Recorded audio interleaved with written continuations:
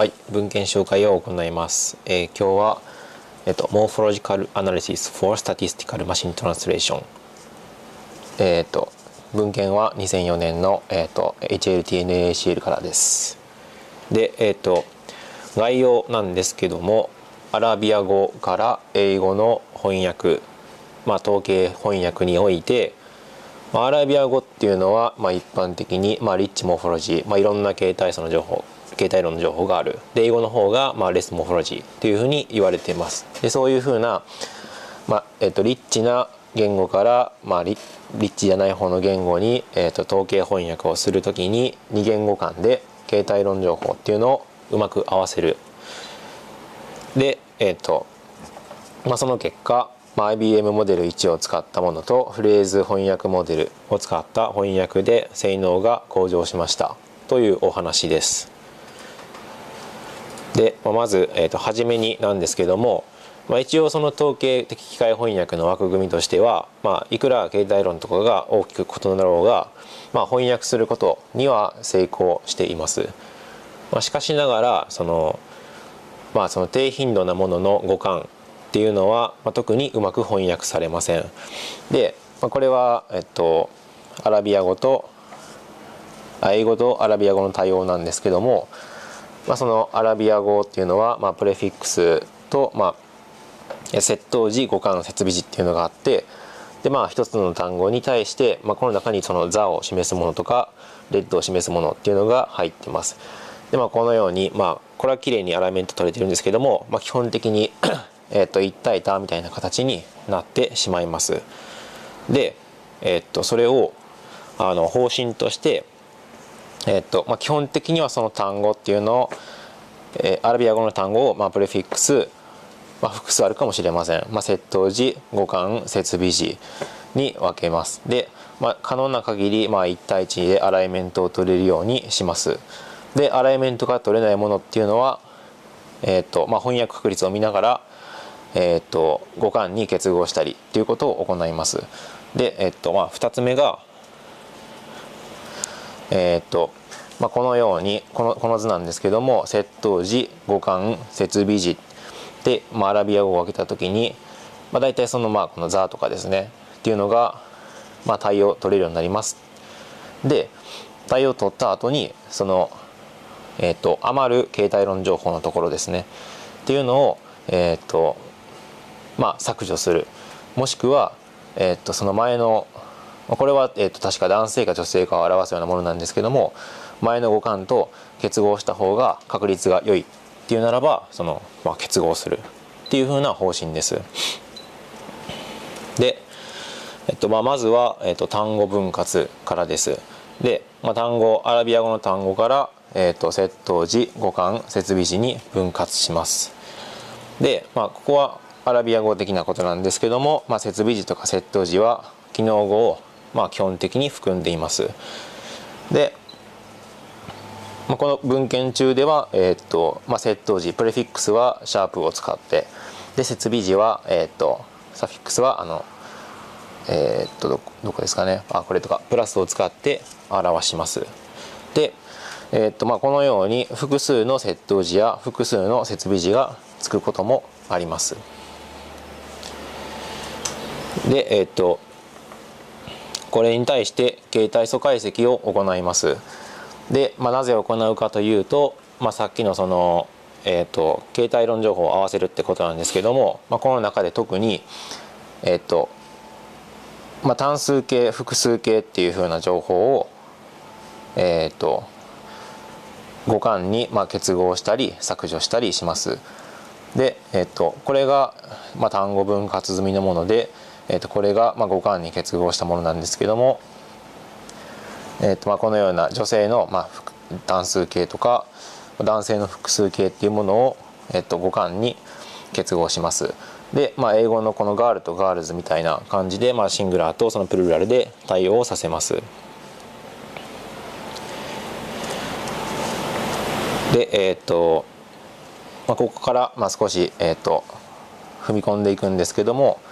えっとまあ、IBM モデル1を使って、まあ、大役コーパスの品詞同士のアライメントを取りますでそこで、えーと、アラビア語の窃盗時の品詞と設備の品詞っていうのが、まあ、英語のあえっ、と、まあ、あるアラビア語に対して、まあ、窃盗時と設備時の品詞に対して、えーと、英語の品詞にどれあどんな品詞になるかっていうのを条件付き確率で、えーと、取得をします。で、えっ、とまあ、アルゴリズム的なことなんですが、まあ、PR っていうのはプロバビリティで、えー、と条件付き確率です。で、えー、とタグ A っていうのがアラビア語の品詞で、まあ、タグ E っていうのが英語の品詞です。で、まあ、これはあるアラビア語の、えー、と品詞がある英語に翻訳される、まあ、条件付き確率です。で、えっと、ステムタグ A っていうのはある窃盗窃盗時、まあ、設備時のと,、えー、っと狂気する代表的な品詞、まあ、多分高頻度なものだと思います。でまあそれは形容詞とか動詞とか名詞とかになりますでそこでえっ、とアラビア語の設備時とあこの場合はアラビア語のえっ、とまあある語感に対する設備時とこの英語の品詞で、えーとまあ、ある語感に対するこの窃盗時の、えー、英語での品詞っていうふうな確率を取得していきます。で、えっとまあ、そこでその二言語間対応を取るんですけども、まあ、その分割したもの同士があの確からしく翻訳される、まあ、眼見に翻訳される場合っていうのはその情報を残します、まあ、だから A とアラビア語と英語で、まあ、多分ほぼ1対1で対応取れるでしょうっていうのを確率モデル的に、えー、と決定します。でえっと、この眼見かどうかっていうのが、えっと、ちょっと説明しにくいんですけども、まあえっとまあ、アラビア語のある品ある単語の品詞から、まあ、ある英語になるときに、えっとまあ、その語感ごとで考えるんですけどもその語感のえっとえっと愛が窃盗時で設備時ででそそその語感に対する窃盗時っていうのが独立で対応思想か、えっと、ある互換に対する設備時っていうのが独立で対応思想かっていうのを取ってきてでその、えっと、眼見かどうかっていうのを上位3っていうふうに決めてます、まあ、だからある設備時が、まあ、名詞にどうも対応しそうだっていう情報があってで英語側でえあでえっ、と、まあ、その設備時自体がどうやら名詞になることが多いっていうふうなものがあれば、えーと、眼見であるっていうふうにしています。で、えーと、評価です。えっ、とコーパはあコーパスは、えーと、AFP と、まあ、シンファ、えー、とニュースから作られた、まあ、LDC が作った、えーとまあ、多分なんかコーパスです。で、えっ、と翻訳はブルーを用いて評価を行います。で、えー、と今回実験としては、えーと まあ、分量をどんどん増やしていってます。で、えっ、とこれが文の数で、えー、とこれがジャンルです。まあ、ニュースとこれちょっと何かわからないですけども、まあ、いろいろあります。で、えっと、結果なんですけども、えっとまあ、まずは、えっとまあ、こちらを見てください。でベースラインっていうのが、えっとこの IBM モデル1でそのままあの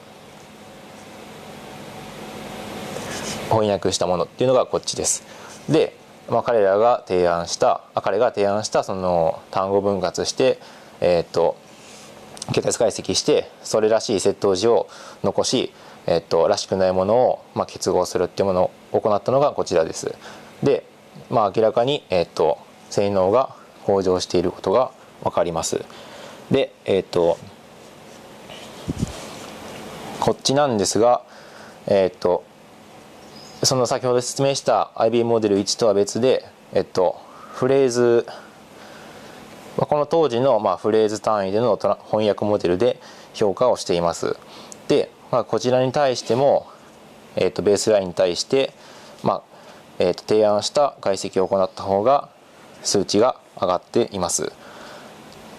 でえっとこっちは、えっとまあ、詳しくは説明しないんですけどもえっと、まあ、どうもアラビア語にも複合名詞とかがたくさんあるようでえっと詳しくはちょっとわからないですがそこを、えっとまあ、手であったものっていうのと、えっと、機械的にあったもので、まあ、機械的にあったものの方が、まあ、多少精度は低いです。でまあこのように、えっとまあ、モーフォロジカリリッチなものから英語に翻訳するときに、えっとうまく、まあ、確率モデルを使って必要な品詞あ必要な窃盗時設備を残すと、まあ、翻訳が良くなるというものです。以上で終わります。